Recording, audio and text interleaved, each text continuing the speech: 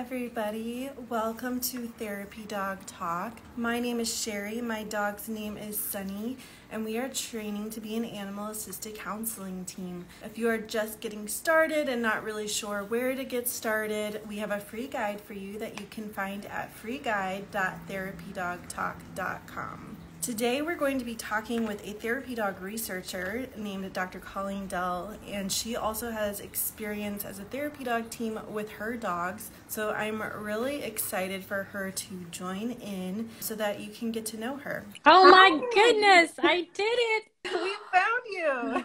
wow, I was lost there for a while. That's okay. I need my dog. Where's my dog? Who do you have there with you, EJ? We have a new pup in the house as of Thursday. Her name is Molly. Yeah. How old is Molly? Molly is going to turn four, same as EJ. They're just slowly integrating together, and it's been fun. They're going to be good friends. That's awesome. I love yeah. that. Well, Colleen, for those who don't know you, can you introduce yourself and your animal partners to us? Yes, I am Colleen Dell. I am at the University of Saskatchewan and I have a research chair in One Health and Wellness, and I'm a professor there. And I have worked with a number of therapy dogs who also worked in other areas. We've done projects on service dogs, companion animals. So the three who have passed are Kisby, Annabelle, and Subi. And two passed last year and Subi in 2019. And then I have EJ here who just turned four and he just passed his therapy dog test uh, about a month ago. Yeah, yeah. And now we have Molly, and Molly is just a natural. She's, uh, as I said, almost a four year old bulldog. So, yeah, so I'm looking forward to working with her too. That's really great. And you've participated in several different therapy dog programs with them, haven't you? Yeah, so we have St. John's Ambulance here in Saskatchewan, and, and they're all over Canada, and that's a regular therapy dog program. And then we also, I started with Darlene Chalmers, Dr. Darlene Chalmers at University of Regina, um, something called um, PAWSitive Support, and that's within our prisons and our jails here. So that's more of a wellness program. We work with sometimes with a counselor, sometimes without working with the dogs. We also have PAWS Your Stress, which is on which is on campus at the University of Saskatchewan, we work in partnership with St. John's Ambulance with that. So lots of lots of words, lots of acronyms, but underlying all that is attention to research and and really developing that evidence base for this field, which has really grown recently, but typically has not had a lot of evidence behind it, at least not typical Western evidence, right? Yeah, definitely. And I definitely do want to get into that. I graduated with an MFT in marriage and family therapy just in May, and I was doing a lot of right. research around animal assisted therapy. And I noticed how much that research increased just within like the last seven years, like just yeah. 15. So that's yeah. really great. How yeah. did you initially begin researching the human animal bond and why is it so important to you? Right. I've always studied addictions. That's my field is addictions and mental health. And prior to that was criminalization and working in the prison system. And I'd been in the addictions field for, I don't know, almost 20 years, if not a little bit longer. And then I was just getting kind of tired of it. Just tired of it in the sense that it's not a very positive field to to be within, right? And it's not one where you see a lot of change happening very quickly, especially at the policy level or what's offered at the provincial level, anything like that, right? It's really hard. And you see progress and then you see back and you see progress. So I was thinking of leaving academia and just I'm not sure what I was going to do, but something, maybe work for an NGO or something. And then someone said, well, before you do that, you should just see if there's another area you want to research. Something that you love because I had a sabbatical coming up. And so I was kind of blurted out and I said, I love my dogs. And then I honestly, I went home and I Googled dog and therapy dog. No, I put, I think I put dog and addiction. And then a therapy dog came up or the word therapy dog. And I was like, what's this? and then I was like, oh, and at that time there was only one study and I can't remember the author right now, but he was doing, he brought uh, therapy dogs into an addiction treatment center. I think he had a controlled trial. I can't, honestly, I can't remember. That was the only thing that existed. So I was like, aha. so yeah, so that's how that started. That's awesome. So you're like, I like dogs, and there's a research need here. yeah. So why not? exactly. That's really great. Yeah. I know that you consider your animals to be a part of your team and that you have a strong commitment to animal welfare. Yeah. How does that impact your work and your research? Well, my whole background uh, has been in community based research. And when I was doing my undergrad, the only methods I knew were feminist methods. That's I, and everything is community based and about voice, right? So that's how I kind of grew up in academia. I, I didn't know there was anything else. And I, I learned quickly that there are other ways, right? But yeah, so that attention to community based research is in everything that I've ever done. And I've done a lot of work on Indigenous health as well. And again, incredibly important to have everyone's lived experiences and voices and other world views at the table as well. So when I started, when I was like, oh, this is kind of neat, and I got my sabbatical to work around animals and addictions and mental health, I thought, well, I have a dog and I've had dogs, but I, am not sure how to incorporate their voice. And so I thought the first thing I needed to do was to go to a dog training school. And I've been to like classes before with my family members of the canine ones. So I went to Extreme Canine in the States. I think it was for three weeks. Me and Annabelle at the time went, the bulldog. She was great. And, you know, I really learned there of who I was working with. And I remember Behesha Doan, she was the trainer there. She had said in the very first class, Will you still love me when you understand who I really am from the dog's perspective? And I remember thinking, what is she talking about? It's that dog. Oh, how wrong I was. oh, how wrong I was. And I think you can see that in the research coming out now how much more we know about dogs, right? Yeah. So that was so important to me. And then I came back home and I published an article in substance use and misuse with Annabelle as the first author because I thought her voice needed to be heard at the very beginning of doing this work. And I also thought I might get let go because who does that? But I kept my job and it was actually really accepted very well. In fact, I wrote a second article with her in my best interpretation of her experiences and what her voice would be. Again, it's limited because it's me. But yeah, so we did that. And I just think it's so important. It's this reciprocal relationship. And that's what One Health is all about, what my chair is in. So that relationship between humans, animals, and the environment. And without one being healthy, they all can't be healthy. So mm-hmm. that's where we focus. I love that. Can you tell us a bit more about the therapy dog programs that you and your team are involved in and kind of what they mean to you? Yeah, so I think just to make it simple, we have we work with St. John's Ambulance, which is our national therapy dog program, and the one we have in our province here of Saskatchewan.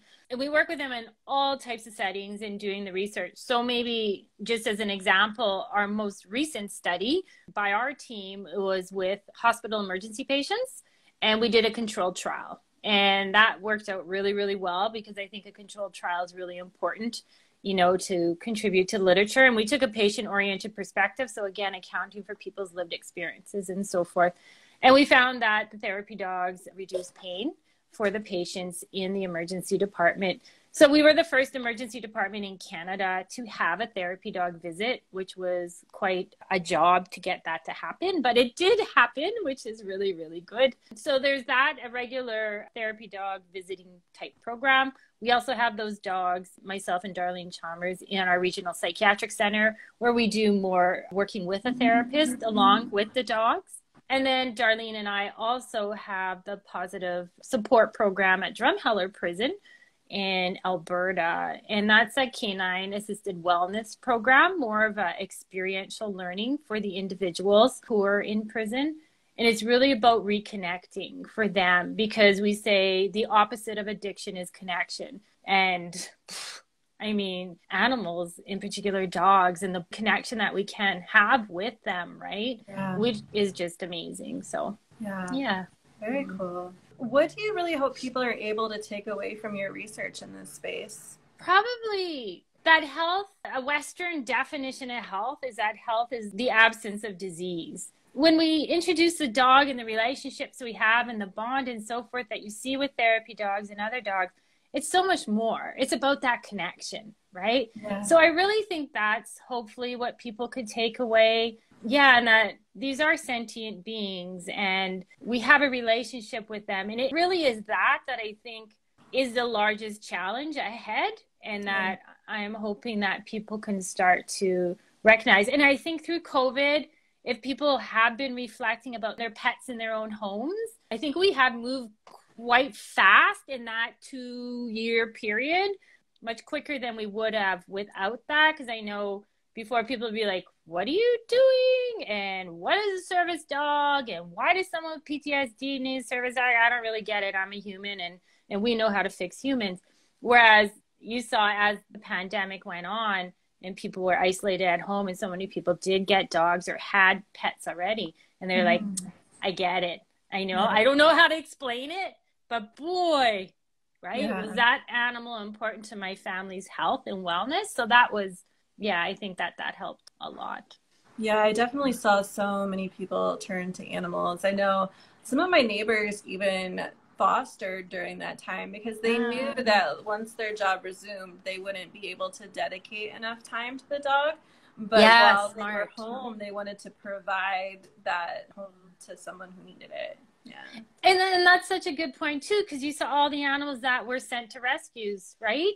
When they did go back to work. And I think that just yeah. still speaks to how disposable animals are. There is not this equality between animals, humans, and environment. We're far, far, far away from that. But I think yeah. the more attention we can give, especially with therapy dogs and the amazing work that they do, like we had here in our vaccination clinics, bringing the dogs into the vaccination clinics, it was just amazing, right? That distraction and the support that they provided. And so, I mean, thousands upon thousands of people saw the dogs there, and I'm sure they're like, a dog? Yeah. Hmm, what is about this? There, there's something there. They wouldn't be here if there wasn't a reason, right? So yeah. I think that has has again pushed our thinking forward. Yeah. Well, and I feel like dogs just went so many more places with us during the pandemic because anywhere that was really like pandemic friendly was dog friendly. Yeah, that's true. Yeah. Yeah. Yeah. Yeah, very much so. Yeah. So that relationship, that connection, how have you seen that manifest with your own dogs, especially as you did therapy work with them? Yeah, that relationship. Oh, you know, I just see how much I've changed and how much I've grown and how much more that I understand now and just realizing how unique each of them are and just always being in tune into their experience when no matter what setting we are in but just being in tune with how they're feeling and like having half of my mind on the participant and the other half on the dog and always making sure that they're comfortable and I'm facilitating. I almost feel like I'm the facilitator and sometimes speaking for the dog because the clients want to know or the participants want to know so much about the dogs, right? Yeah. And yeah, I almost feel like I'm that role. And, and I mean, they're dependent on me, obviously, but I think I became highly dependent on them as well as I realized how important this bond was and that it can form. And it's very unique compared to what we have with other humans when we start to really reflect on that and understand that in a lot of loss in my own life was just like these animals are here right yeah. and and they yeah when i look back now it's like wow and then with their own passing i mean it's difficult but it's just like what a gift to have yeah. these bonds and these relationships right that are some are a little bit more complex than the other, but some I can think of like with Kisby, it was just like it was just so easy. It was just so easy. Yeah. Yeah. I remember we talked about recording this episode just after Pet Remembrance Day and talking yeah. about how you manage that loss of an animal who you've built such a great bond with. And I think yeah. you said that you've done quite a bit of research in this space, yeah? Yeah, we've we've been doing some members of our team have been doing some work or they had a recent publication on service dogs because we work a lot with service dogs and veterans who lost the grief to their service dog. And I think, you know, just going back to the beginning there and talking about lived experience, I mean, I'm not just researching, but I'm out there thousands of hours with the dogs and and that loss part is very real as well, right? So really really experiencing it and, and just bringing that all in as we look at our research questions and what it's like to be a handler, what's like to to have that bond and then lose, right? Yeah. And I think like for me, I wrote an article, I wrote two with Annabelle. I really feel like they're colleagues. They are colleagues. Yeah. And very much. I mean, they're at work with me and so forth. So it's yeah, and it's and something hopefully we're paying more and more attention to in society and and you see that you see some companies giving bereavement days right mm-hmm. when a, a pet is lost and so forth so yeah. yeah. those are the companies who get it yeah oh they get it they totally get it yeah. yeah. yeah have you learned anything in your research that's helpful for therapy dog handlers when they do lose their partner you know for me i uh, wrote a memorial like an obituary that was really, really important. And I think every time we do something like that, so I wanted to get into the newspaper and I thought, I don't care how much this is going to cost because she's just done so much in our community. This was Annabelle.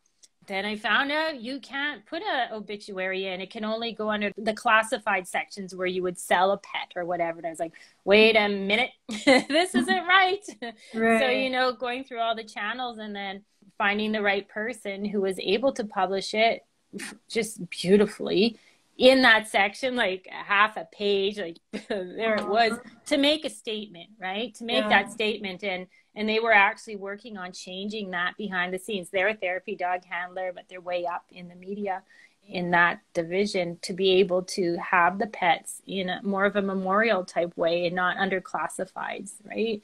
So yeah. I don't know if that's a good answer, but it was whatever makes sense to individuals. And to me, it's writing and mm-hmm. writing and having a cause was just like allowed me to i guess grieve and get out whatever is in me. But it, it came out in that way. And that just felt just even writing that obituary was just like over and over of trying to get the right words was really important because it, it's it's just solidifying what she meant to me and the community and in our office, we also do digital videos, which are about four minute videos with words and, and so forth. And we've gone through that training. So I made a digital video of her as well. And that was really healing, right? So incredibly, yeah.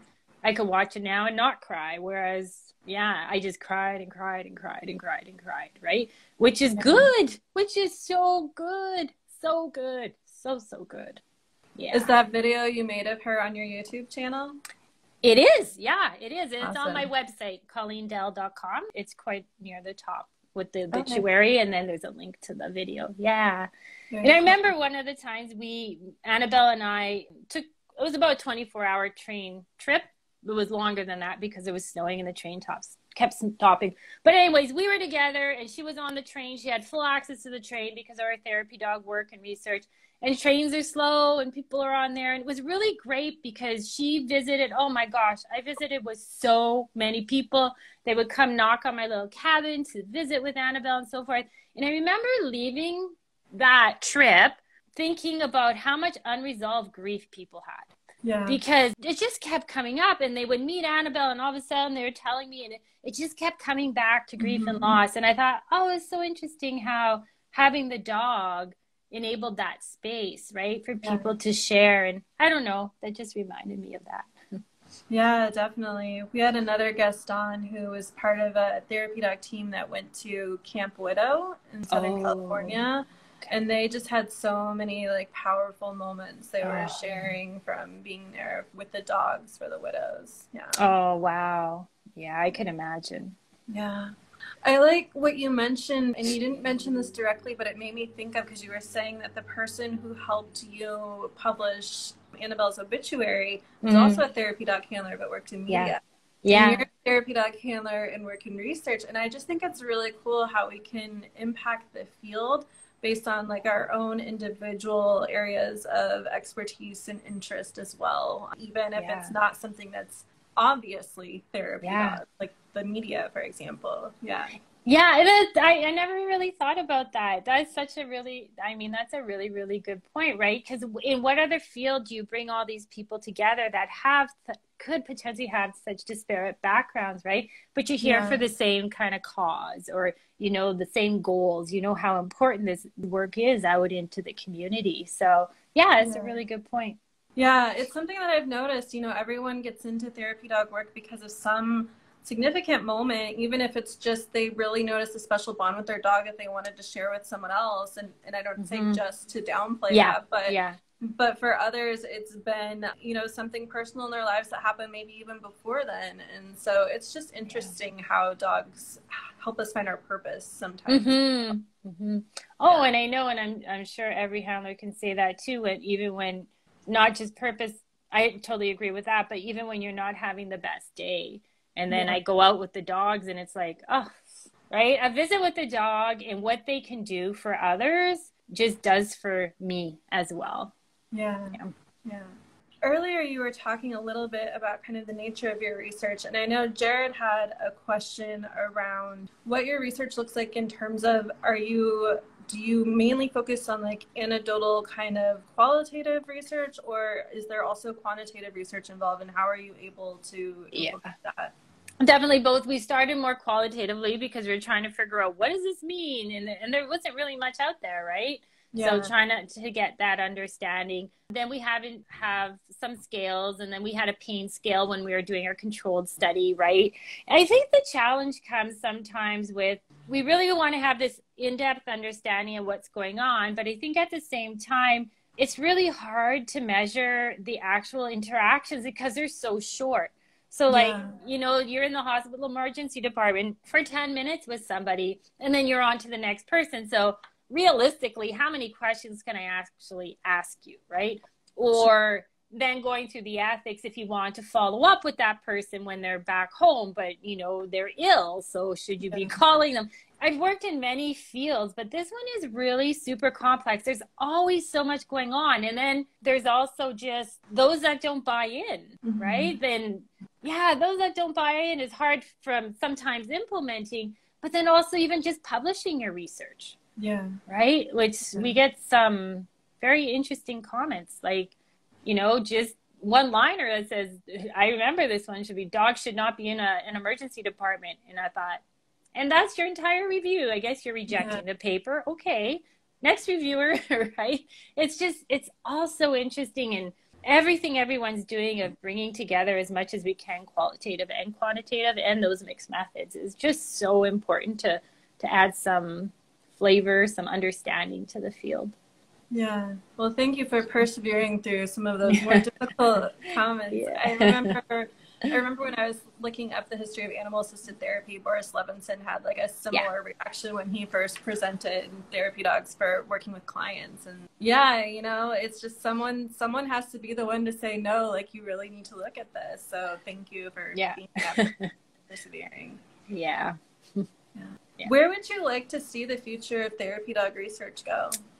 You know, I'm really interested in kind of like you were saying, the bond that we have with our therapy dogs, but the impact of the team. So, yeah. not just the impact of the dog, but the impact of the team. Because, yeah, there's just some really great special people who are out volunteering and so forth with their therapy dogs, right?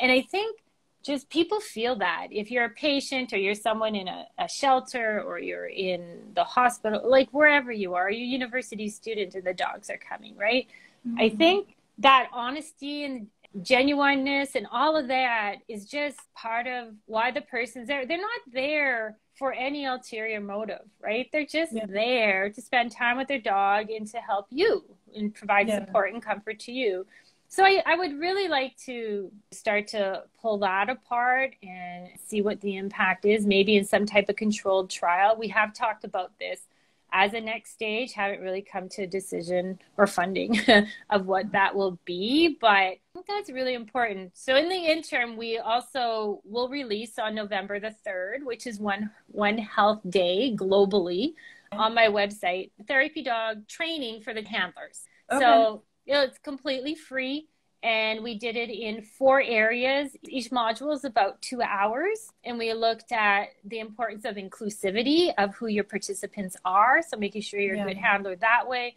We looked at the mental health of the handler as one module. We looked at mental mm-hmm, mental health of the clients or the participants, and also the safety and the health of the dog and Anne Howie uh, did a talk in that last one there. So we have those modules, and yeah, it's free. It's going to be free, and people can get a certificate out of that. so many people on our team and with St. John's Ambulance, Jane Smith had done some fundraising to support this with her dog Murphy. He was the first therapy dog in the emergency department here. And yeah, just how important that training is. So we're yeah. really excited that that's coming out and really want to make that so widely available to individuals. And so yeah. I think it fits along that again, you're a team, right? Mm-hmm. And yeah, I think even the field has come further from the beginning, which I think, you know, like a decade ago, kind of almost there when I was entering it, was really just about the dog. And I think yeah. we're having these discussions now where it's not just a dog, it's our relationship with the dog. It is also the environment that you're in. So, again, bringing those three together and trying to have a, a good understanding of what's happening there. Yeah, I love that. Mm-hmm. Well, I was going to ask you what advice you have for therapy dog teams based on your research, but it sounds like it might be to check out yes. that on November 3rd. yes, lots of our research is in there, that's for sure. Yeah. and they can find that at colleendell.com? Yeah. Mm-hmm. Okay. Awesome. Under initiative, there's a little thing at the top says initiatives, and you'll see it in there. Okay, that's really yeah. great. Do you have any other advice for handlers or prospective handlers that you've seen come out of your own experience and research? I think that probably the most important thing is when people say, Can you train? You know, I want to train my dog to be a therapy dog. You know, you can train for obedience and or whatever word you want to use, right? To mm-hmm. have those good interaction skills, but you can't train to be a therapy dog. The dog is who the dog is. And there's no right, that's their personality. Either they want to be out and about or they don't. Yeah, and so like even with EJ, who clearly doesn't still listen all that great. He's not even in the sun anymore. He's gone the other way. But it's respecting him. I'm not going to force you to come here if you don't right. want to come here, right? It's like, right. oh yeah, she's blah blah blahing again, which means she's ignoring me because that's what I do in this room, right? Right. So it's just knowing who they are and just respecting them for that. But yeah, the one question I think if we could like always address is like, how do I train my dog to be a therapy dog? And it's like, you can't. It is just who they are. And that's so important. It's just like, are you an introvert or an extrovert? And then also deciding where is a good place for them to be. So EJ grew up during COVID. He had not a lot of interaction. We did the best that we could. So he, at this point, you know, probably take a couple years. He's really good if he's been somewhere and then he's into there, and it's like more of like he loves the prison. Oh, yeah, just loves the prison. It's just great. It's high energy and it's good. But you know, like probably he wouldn't be a dog at this point, if in the future even to go into emergency department. Too much going on yeah. would be it would just be a lot for him, right? Because that he just didn't grow up with so much going on for him. So right. just taking who he is plus his environment and how he grew up. And maybe that'll change, especially as he gets out more and more now, right? But yeah, uh, yeah just respecting who they are. And it's okay if they don't want to go out and visit. It's okay. And I should just mention too that we also did quite a bit of research during COVID um, because we took the therapy dogs online really quickly at both the university with our general community and also with the prison. And we have a couple articles that came out of there. And those connections were still incredibly important, even though they weren't face to face. Those connections that prisoners, for example, made with the dogs that they didn't know with the handlers and the dogs was, yeah, still really impactful. So lots for us to think about, I think, in different ways to be involved. Or if your dog retired, you know, maybe mm-hmm. there's something online you could still do with your dog. Look at Instagram Live, all these things, right? yeah. yeah. Yeah. Awesome. Well, thank you so much, Colleen. I really appreciate sure. spending some time and, and, sharing your work. Is Absolutely. there anything else that you wanted to share while you're here? No, I think I'm okay. Okay. Yeah. Thank awesome. you and for all that you're doing. This is so great to get the word out. Yeah, thank you so much. For sure. Okay. You too. Bye. Bye.